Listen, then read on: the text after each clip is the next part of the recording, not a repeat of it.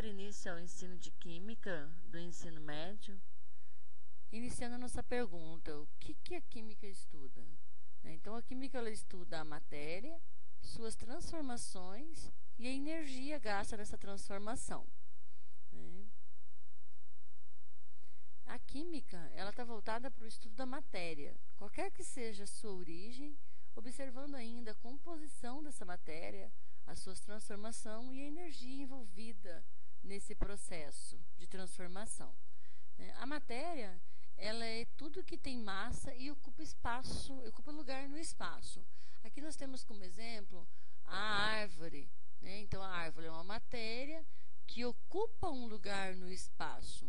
Um corpo, uma porção limitada dessa matéria, né, a gente chama de corpo. Então, a porção limitada da matéria.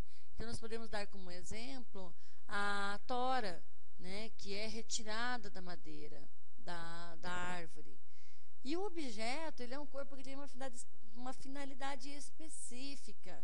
Então, a gente pode dar como exemplo aqui a cadeira, que tem uma finalidade específica. Ela é uma cadeira, no entanto, ela foi retirada do corpo, da porção limitada da matéria. Né? E a, a matéria ela é constituída por partículas minúsculas chamadas de átomo. E nós vamos começar a, a dar início aqui ao estudo dos, dos, modelos atômicos. E isso data de 400 anos antes de Cristo, onde o primeiro modelo atômico ele foi proposto por Demócrito e Leucipo, que segundo eles a matéria seria formada por partículas indivisíveis. Logo depois veio Dalton, Dalton trouxe o modelo da bola de bilhar, onde ele dizia que a matéria é formada por partículas esféricas, indivisíveis, indestrutíveis e intransformada. Então Dalton trouxe o modelo da bola de bilhar.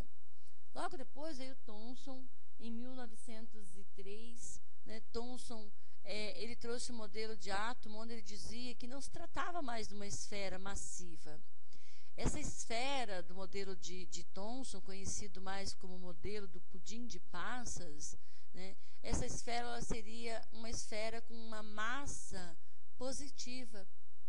E nela, está, essa massa positiva, ele chamou, ele deu o nome de próton. Então, era uma massa positiva, e dispersa nessa massa positiva teriam os elétrons com carga negativa, garantindo assim uma neutralidade para este átomo. Aí vem Rutherford né, e apresenta é, um outro modelo atômico. O modelo de, do atômico do Rutherford ele é aceito até os dias de hoje. É o modelo atômico planetário, onde é, ele diz que o, que o átomo ele é feito pelo núcleo e uma eletrosfera, onde os elétrons estariam dispersos. Rutherford ele conseguiu provar essa teoria dele a partir de um experimento que ele fez com polônio e uma placa de ouro. Então ele pegou o polônio, colocou numa caixa de chumbo, deixou um, apenas um orifício, né? O, é, colocou o polônio para emanar partículas alfas nessa placa de, de ouro. O que, que ele queria provar com isso? Que a, a placa de ouro, se ela fosse formada por partículas indivisíveis, por uma esfera massiva, essas partículas positivas deveriam ser repulsadas e voltar. No entanto, né, o que aconteceu é que essas partículas atravessaram a placa de ouro, né, na, na sua grande maioria, elas atravessaram a placa de ouro. Então, com isso, ele concluiu, ele concluiu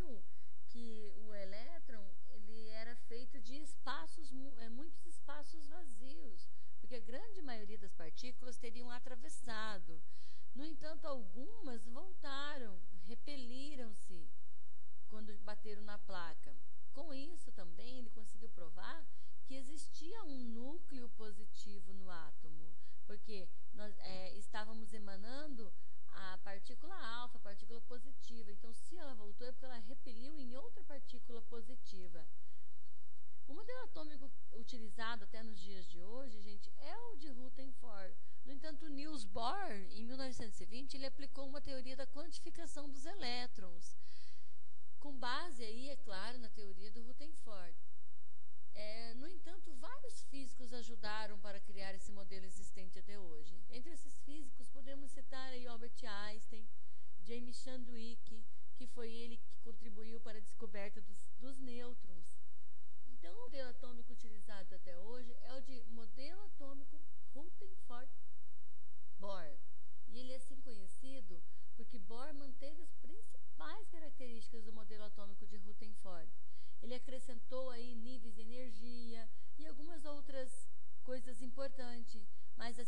mais importante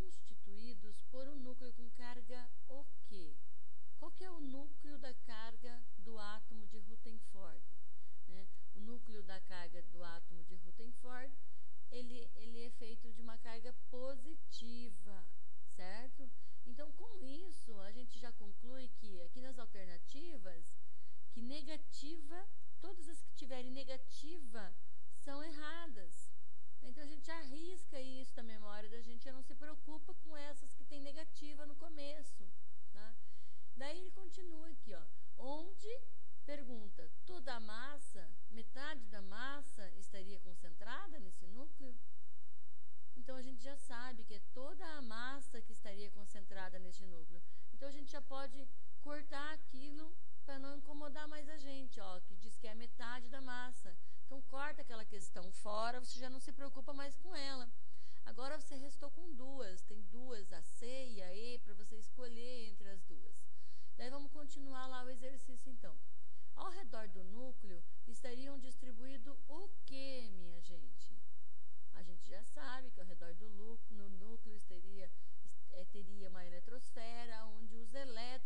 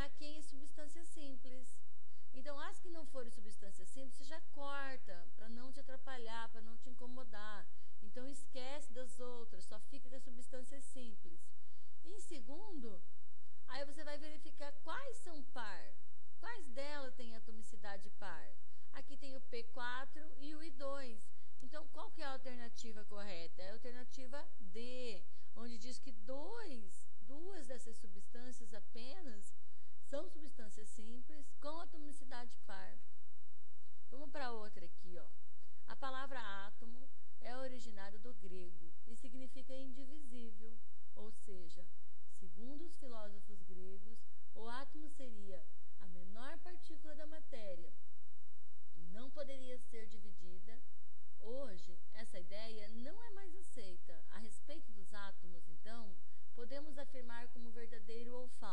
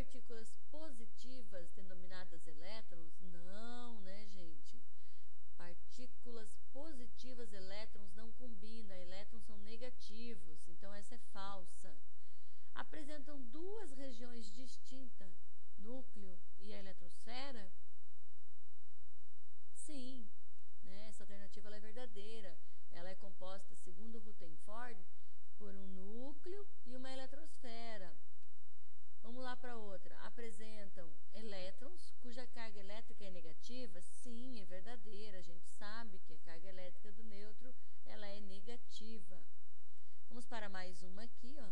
Ao longo da história da ciência, diversos modelos atômicos foram propostos até chegarmos ao modelo atual. Com relação ao modelo atômico de Rutherford, podemos afirmar como verdadeiro ou falso.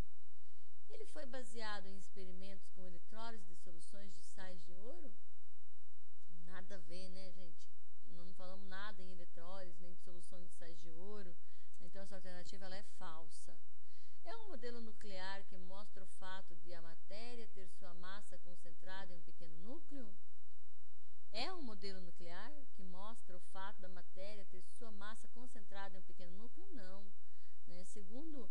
modelo de Rutherford, né, ele tem um modelo nuclear, sim, que tem a massa no seu núcleo, no entanto, ele tem essa eletrosfera, então é falsa.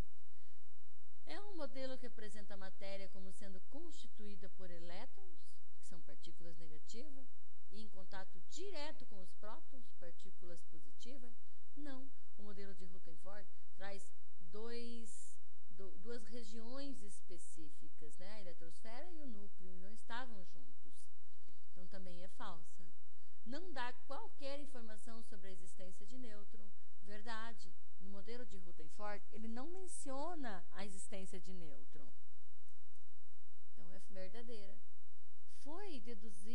partir de experimentos de bombardeio de finas lâminas de um metal para partículas alfas. Sim, né, gente? Verdadeira. Essa foi a experiência que Rutherford utilizou para provar que o átomo tem, teria espaços vazios. Bem, ficamos por aqui. Até mais.